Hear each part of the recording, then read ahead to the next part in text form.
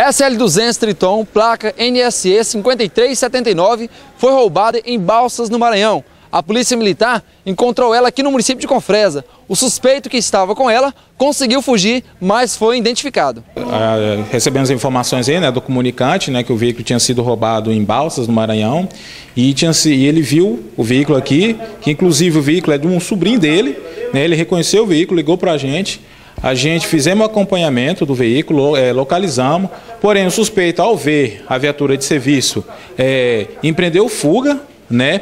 E abandonou o veículo na rua São Gonçalo, lá no Jardim do Éden. Né? Abandonou o veículo já com a chave né? e, os, e os documentos do veículo. Infelizmente, aí, né, o, o suspeito abriu fuga tomando rumo ignorado.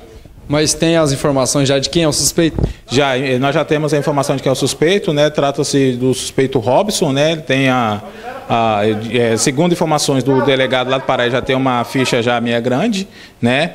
É, vamos fazer o boletim de ocorrência, encaminhar para a delegacia judiciária civil aqui de Confresa para tomar as providências que o caso requer. Fui fazer um serviço no carro meu, aí eu vi a caminhonete, eu conheci a placa, aí o cara agoniou, mandou dar ré na minha caminhonete, de ré, ele saiu correndo, eu saí atrás, liguei para a polícia. A polícia me ajudou a pegar. O cara fugiu, deixou, abandonou a caminhonete. Encontremos ali para baixo, ali atrás, por causa de uns fiação ali da, da, energia ali atrás. Essa caminhonete é do seu sobrinho? Isso, é do sobrinho meu. Esse cara comprou lá em, lá em Maranhão, no Balsas, comprou a caminhonete dele fiado para pagar na segunda-feira e o cara fugiu com a caminhonete, agora que nós conseguimos encontrar. Quanto tempo que ele comprou essa caminhonete? Tem o quê? Tem uns, é uns 20 dias mais ou menos, é por aí, uns 20 dias, 30 dias mais ou menos.